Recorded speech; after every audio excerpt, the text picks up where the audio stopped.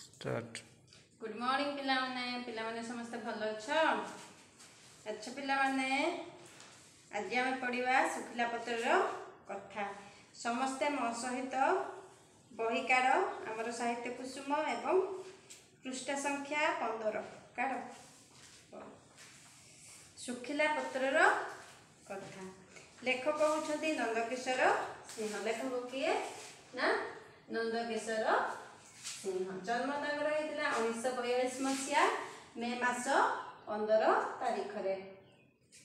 ତାଙ୍କ ରଚନା ଭିତରେ ମାନସୀର ଗବେଷଣାଗାର ଅରଣୀର ଆହ୍ୱାନ ଘର ଛଡ଼ାର କାହାଣୀ ଶିଶୁ ସାହିତ୍ୟ ରଙ୍ଗ ବେରଙ୍ଗ ସାବାସ ଟୁଟୁ ମଜା କାହାଣୀ ଆମ ଗାଁ ହାଟ ଗୁରୁ ଦକ୍ଷିଣା ଇତ୍ୟାଦି। ବୁଝିହେଲା? ତ ଆମର ଶୁଖିଲା ପତ୍ର କଥା କୋଉଠୁ ଆସିଛି ନା ଗୁରୁ ଦକ୍ଷିଣାରୁ ଆସିଛି ତ ପିଲାମାନେ ସମସ୍ତେ ବହି ଖୋଲ ଏବଂ ମୁଁ ପଢ଼ୁଛି ତମେ ବହି ଦେଖ ପୂର୍ବ କାଳରେ ଶିଷ୍ୟମାନେ ଗୁରୁଙ୍କ ଆଶ୍ରମରେ ରହି ବେଦ ଉପନିଷେଦ ଆଦି ନାନାବିଧ ଶାସ୍ତ୍ର ଅଧ୍ୟୟନ କରୁଥିଲେ ଶାସ୍ତ୍ର ଅଧ୍ୟୟନ ସହିତ ଆଶ୍ରମରେ ହୋମ ପାଇଁ ସମିତି ସଂଗ୍ରହ କରିବା ଆଶ୍ରମର ଗାଈ ଗୋରୁଙ୍କୁ ଚ- ନେଇ ନିକଟବର୍ତ୍ତୀ ଜଙ୍ଗଲରେ ଚରାଇବା ଆଶ୍ରମବାସୀଙ୍କ ନିମନ୍ତେ ଫଳମୂଳ ସଂଗ୍ରହ କରିବା ଇତ୍ୟାଦି କାର୍ଯ୍ୟ ମଧ୍ୟ କରୁଥିଲେ। ଏହାକୁ ଗୁରୁକୁଳ ଶିକ୍ଷା କୁହାଯାଉଥିଲା। ଶିକ୍ଷା ସମାପନ ପରେ ଶିଷ୍ୟମାନେ ଗୁରୁଙ୍କୁ ଦକ୍ଷିଣା ଦେଉଥିଲେ। ସେହିପରି ଏକ ଗୁରୁକୁଳରେ ଶିକ୍ଷା ଲାଭ କରୁଥିଲେ ଦୁଇ ଜଣ ଶିଷ୍ୟ। ଜଣଙ୍କର ନାମ ଶିଶିର ଓ ଅନ୍ୟ ଜଣଙ୍କର ନାମ ତୁଷାର। ଯଥା ସମୟରେ ସେମାନଙ୍କର ଗୁରୁକୁଳ ଶିକ୍ଷା ଶେଷ ହେଲା। ଗୁରୁଙ୍କୁ ପ୍ରତ୍ୟାବର୍ତ୍ତନ ଗୃହକୁ ପ୍ରତ୍ୟାବର୍ତ୍ତନ କରିବା ପୂର୍ବରୁ ଶିଶିର ଓ ତୁଷାର ଗୁରୁଙ୍କୁ ସାକ୍ଷାତ କଲେ। ଗୁରୁ ଦକ୍ଷିଣା ଦେବା ପାଇଁ ନିଜ ନିଜର ଅଭିଳାଷ ଜଣାଇଲେ। ଶିଷ୍ୟ ଦୁହିଁଙ୍କର ନିଷ୍ଠାରେ ଗୁରୁ ଅତ୍ୟନ୍ତ ସନ୍ତୁଷ୍ଟ ଥିଲେ। ସେମାନଙ୍କ ପାଖରୁ କୌଣସି ଦକ୍ଷିଣା ଗ୍ରହଣ କରିବା ପାଇଁ ଗୁରୁ ଅନିଚ୍ଛା ପ୍ରକାଶ କଲେ। ଏଥିରେ ଶିଷ୍ୟ ଦୁହିଁଙ୍କର ମନ ବୁଝିଲା ନାହିଁ। ଗୁରୁ ଦକ୍ଷିଣା ନ ଦେଇ ଗୁରୁକୂଳରୁ ବିଦାୟ ନେବେ କିପରି? ତେଣୁ କିଛି ହେଲେ ଦକ୍ଷିଣା ଗ୍ରହଣ କରିବା ପାଇଁ ସେମାନେ ଗୁରୁଙ୍କୁ ଅନୁରୋଧ କଲେ। ଶିଷ୍ୟ ଦୁହିଁଙ୍କ କଥାକୁ ଗୁରୁ ଏଡ଼ାଇ ପାରିଲେ ନାହିଁ। କିଛି ସମୟ ଚିନ୍ତା କରି କହିଲେ ଠିକ୍ ଅଛି ତୁମେ ଦୁହେଁ ଯଦି ମୋତେ ଦକ୍ଷିଣା ଦେବା ନିମନ୍ତେ ଏତେ ଆଗ୍ରହୀ ତେବେ କେତୋଟି ଶୁଖିଲା ପତ୍ର ଦକ୍ଷିଣା ସ୍ୱରୂପେ ଆଣି ମୋତେ ଦିଅ। କିନ୍ତୁ ମନେ ରଖ ଏହିମିତି ପତ୍ର ଆଣିବ ଯାହାକି ଅନ୍ୟ କାହାର ଦରକାରରେ ଆସୁ ନଥିବ। ଗୁରୁଙ୍କ ମୁହଁରୁ ଏକଥା ଶୁଣି ତୁଷାର ଓ ଶିଶିର ବିସ୍ମିତ ହେଲେ। ସେମାନେ ଭାବିଲେ ଗୁରୁ ଟଙ୍କା ସୁନା ନ ମାଗି ସାମାନ୍ୟ ଶୁଖିଲା ପତ୍ର କେତୋଟି ଦକ୍ଷିଣ ଭାବରେ ମାଗିବାର ତାତ୍ପର୍ଯ୍ୟ କ'ଣ ହୋଇପାରେ ଗୁରୁଙ୍କ ଆଜ୍ଞା ପାଳନ କରିବା ତାଙ୍କର ପରମ କର୍ତ୍ତବ୍ୟ। ତେଣୁ ବିଳମ୍ବ ନ କରି ଦୁହେଁ ଅଦରକାରୀ ଶୁଖିଲା ପତ୍ର ସନ୍ଧାନରେ ବାହାରିଲେ। କିଛି ବାଟ ଅତିକ୍ରମ ଅତିକ୍ରମ କରିବା ପରେ ସେମାନେ ଗୋଟିଏ ବିରାଟ ଆମ୍ବ ତୋଟାରେ ପହଞ୍ଚିଲେ। ଦେଖିଲେ ଶୁଖିଲା ପତ୍ର ସବୁ ଗଦା ଗଦା ହୋଇ ରଖାଯାଇଛି। ତୁଷାର ଓ ଶିଶିର ସେହି ପତ୍ର ଗଦାରୁ କିଛି ଆଣିବା ପାଇଁ ଯିବାରୁ ଅଳ୍ପ ଦୂରରେ ଥିବା ବୁଢ଼ୀଟି ଧୈର୍ଯ୍ୟ ହୋଇ ଆସି ସେଠାରେ ପହଞ୍ଚିଗଲା। କହିଲା ପୁଅ ମୁଁ ବହୁ କଷ୍ଟରେ ଖରା କାକର କି କରି ଏହି ପତ୍ର ଗୁଡ଼ିକୁ ଠୁଳ କରିଛି। ଏଗୁଡ଼ିକୁ ନେଇ ଜାଳ କରିବି ଖୁଦ ମୋଟେ ଚାଉ କରି ଖାଇବି। ତୁମେ ଏ ଗଦାରୁ ଅନ୍ୟ ଏ ଗଦାରୁ ପତ୍ର ନିଅ ନା। ବୁଢ଼ୀ ମଣିଷ ମୁଁ ଆଉ ଦୂରକୁ ଯାଇ ପତ୍ର ସାଉଣ୍ଡି ଠୁଳ କରିପାରିବି ନାହିଁ। ବୁଢ଼ୀଠାରୁ ଏକଥା ଶୁଣି ଦୁହେଁ ଶିଷ୍ୟ ସେଠାରୁ ବାହାରି ଅନ୍ୟତ୍ର ଚାଲିଗଲେ। କିଛି ଦୂର ଯାଇ ଦେଖିଲେ ଜଣେ ଲୋକ ଶୁଖିଲା ପତ୍ର ଏକାଠି କରୁଛି। ଶିଷ୍ୟ ଦୁହେଁ ତାକୁ ପଚାରିଲେ ଭାଇ ଏ ପତ୍ର ତୁମର କି ଦରକାରରେ ଆସିବ?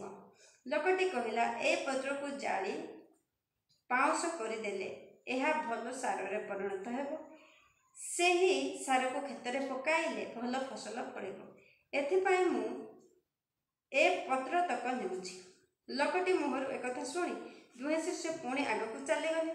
କିଛି ବାଟ ଯିବା ପରେ ଦେଖିଲେ ବୁଢ଼ୀଟିଏ ଶୁଖିଲା ପତ୍ର ସାଉଁଟିଛି। ବୁଢ଼ାଟିଏ ଶୁଖିଲା ପତ୍ର ସାଉଁଟିଛି।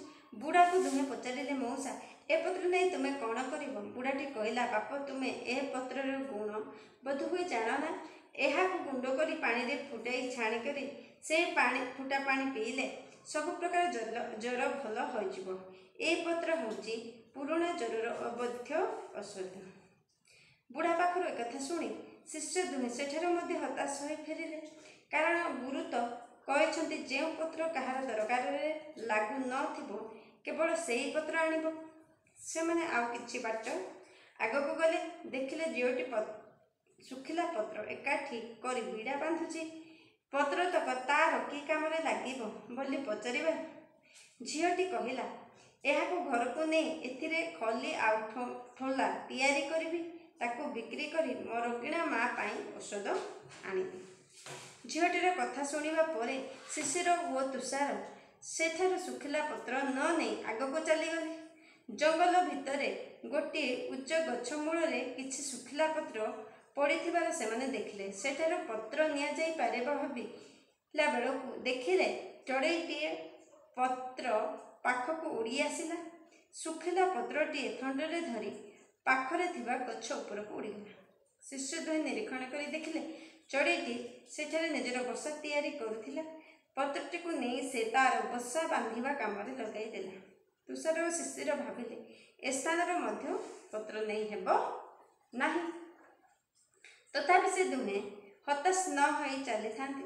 ଆଗକୁ ଯାଉ ଯାଉ ଗୋଟିଏ ଦେଖିଲେ ଗୋଟିଏ ପାଣି ନାଳ। ସେହି ନାଳରେ କେତେ ଗୁଡ଼ିଏ ଶୁଖିଲା ପତ୍ର ଭାସୁଛି।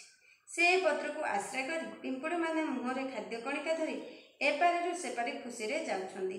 ଏସବୁ ଘଟଣା ଦେଖି ତୁଷାର ଓ ଶିଶିର ଆଉ ଆଗକୁ ଯିବାକୁ ମନ ବଳାଇଲେ ନାହିଁ। କାରଣ ସେମାନେ ଦେଖିଲେ ଏହି ଶୁଖିଲା ପତ୍ର ମଣିଷଠାରୁ ଆରମ୍ଭ କରି ପଶୁ ପକ୍ଷୀ କୀଟ ପତଙ୍ଗ ସମସ୍ତଙ୍କର ଦରକାରରେ ଲାଗୁଛି। ତେଣୁ ସେ ଦୁହେଁ ଶୂନ୍ୟ ହସ୍ତରେ ଗୁରୁଙ୍କ ପାଖକୁ ଫେରିଗଲେ ଫେରିଯାଇ କହିଲେ ଗୁରୁଦେବ ଆପଣ କହିବା ଅନୁସାରେ ଆମେ ବହୁ ସ୍ଥାନକୁ ଗଲୁ। ବହୁ ସ୍ଥାନରେ ଶୁଖିଲା ପତ୍ର ପଡ଼ିଥିବାର ଦେଖିଲୁ କିନ୍ତୁ ଏହିଭଳି ଗୋଟିଏ ସ୍ଥାନ ପାଇଲୁ ନାହିଁ ଯେଉଁଠି ଶୁଖିଲା ପତ୍ର କାହାରି ଦରକାରରେ ନ ଆସୁଛି। ତେଣୁ ଆମେ ଶୂନ୍ୟ ହସ୍ତରେ ଫେରି ଆସିବାକୁ ବାଧ୍ୟ ହେଲୁ। ଆପଣଙ୍କୁ ଆପଣଙ୍କ ମନପସନ୍ଦର ଦକ୍ଷିଣା ଦେଇ ନ ପାରି ଆମେ ଲଜ୍ଜିତ। ଶୁଖିଲା ପତ୍ର କେତୋଟି ଆପଣ ଦକ୍ଷିଣା ଭାବରେ ମାଗିଥିବାରୁ ଆପଣଙ୍କ କଥାକୁ ଆମେ ପରିହାସ ମଣିଥିଲୁ। କିନ୍ତୁ ସେଇ ଶୁଖିଲା ପତ୍ର ଯେ କେତେ ଦରକାରୀ ସେ କଥାକୁ ଆମେ ଏବେ ଅନୁଭବ କରୁ ପାରୁଅଛୁ ଶିଷ୍ୟ ଦୁହିଁଙ୍କୁ ଗୁରୁଦେବ ଆନନ୍ଦରେ କୁଣ୍ଡେଇ ପକେଇଲେ। ତାପରେ ସ୍ନେହରେ ସେମାନଙ୍କ ପିଣ୍ଡି ଥାପୁଡ଼ାଇ କହିଲେ ତୁମେ ଦୁହେଁ ମୋର ନିଷ୍ଠାବାନ ପ୍ରିୟ ଶିଷ୍ୟ। ଦକ୍ଷିଣା ଦେଇ ପାରିଲେ ପାରିଲନି ବୋଲି ମନ ଦୁଃଖ କର ନା ସେଥିପାଇଁ ଆଦৌ ବ୍ୟସ୍ତ ହୁଅ ନା ତୁମେ ଆଜି ଯେଉଁ ଜ୍ଞାନ ଲାଭ କଲ ତାହା ହେଉଛି ମୋର ପ୍ରକୃତ ଗୁରୁ ଦକ୍ଷିଣା। ତୁମେ ଏବେ ଜାଣିଲ ଭଗବାନଙ୍କ ସୃଷ୍ଟିରେ ସାମାନ୍ୟ ଶୁଖିଲା ପତ୍ରଟିଏ ମଧ୍ୟ କେତେ ଦରକାରରେ ଆସୁଛି କେତେ ଜୀବଙ୍କର ଉପକାର କରୁଛି। ତୁମେ ମଣିଷ ଜନ୍ମ ପାଇଛ ସୃଷ୍ଟିର ମଙ୍ଗଳ କରିବା ପାଇଁ ତୁମେ କାର୍ଯ୍ୟ କରିଯାଅ। ମଣିଷ ଜନ୍ମ କେବଳ ଅନ୍ୟର ଉପକାର କରିବା ପାଇଁ ଉଦ୍ଦିଷ୍ଟ ଏକଥା ଯେପରି ନ ଭୁଲ। ଦୁଃଖ କଷ୍ଟରେ ପଡ଼ିଥିବା ଲୋକଙ୍କୁ ସାହାଯ୍ୟ କରିବାର ସୁଯୋଗ ମିଳିଲେ ତାକୁ କେବେ ହାତ ଛଡ଼ା କରିବା ନାହିଁ।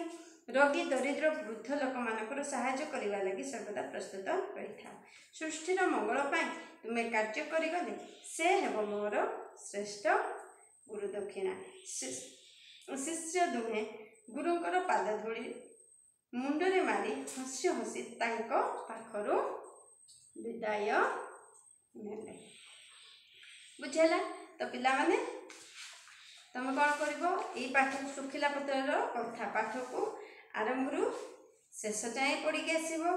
ଆଉ ଲେଖକ ପରିଚୟ ଯେଉଁଟାକି ତମକୁ ଦିଆହେଇଛି ତାକୁ ଭଲ ଭାବରେ ଘୋଷିକି ଆସିବ। ତ ଆଜି ପାଇଁ ସମୟ ହେଇଯାଇଛି। ଆଜି ପାଇଁ ଏତିକି ଥାଉ। ଆମେ ଆଗାମୀ ଦିନରେ ପଢ଼ିବା ସମସ୍ତଙ୍କୁ ଧନ୍ୟବାଦ।